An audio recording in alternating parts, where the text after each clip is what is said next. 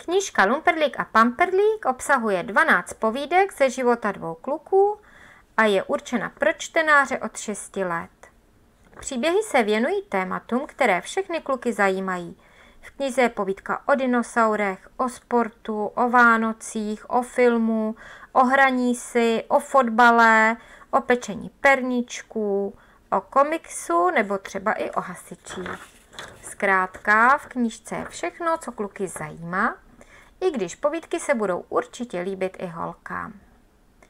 Příběhy jsou napsané tak, aby nepřesahovaly reálný svět, i když v nich naleznete zmínku i o neskutečných postavách, jako jsou třeba UFO, upíři nebo superhrdinové. Na konci knihy jsem připravila soutěž pro všechny bystré čtenáře. Odměny jsou velmi lákavé a dostane se na každého. Děti, které už knihu přečetly, hodnotili příběhy jako veselé a někdy se u nich i hlasitě zasmály. Přeji vám příjemné zážitky s knihou.